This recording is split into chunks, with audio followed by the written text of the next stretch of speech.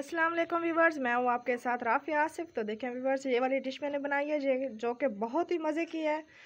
अगर आपने ये डिश ट्राई करनी हो तो प्लीज़ मेरे व्लॉग में आप जाकर देख सकते हैं और ये बना सकते हैं और ये बहुत ही मज़े की है।